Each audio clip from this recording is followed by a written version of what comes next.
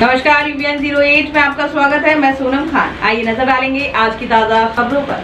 देखते रहिए UBN zero eight ताज़ा खबरों के लिए बने रहिए यूबीएन ज़ीरो एट के। नारायणपुर विधायक ने चपका में अटल टिकरिंग लैब का किया समापन। देखते रहिए UVN zero eight news Kondagaon, Chhattisgarh ऐसी मुकेश मारकंडे की रिपोर्ट।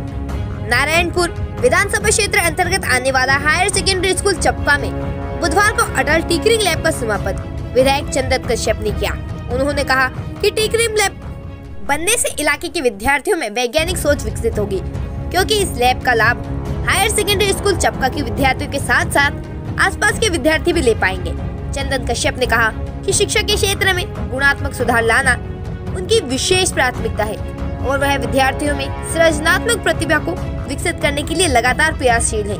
यह लैब न सिर्फ़ चपका के हायर सेकेंडरी स्कूल, बल्कि इलाके के अन्य स्कूलों के विद्यार्थियों और अध्यापकों के लिए भी लाभदायक साबित हुआ।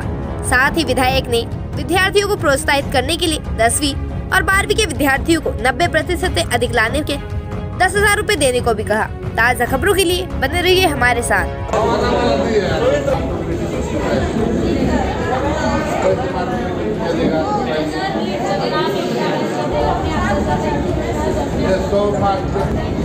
है।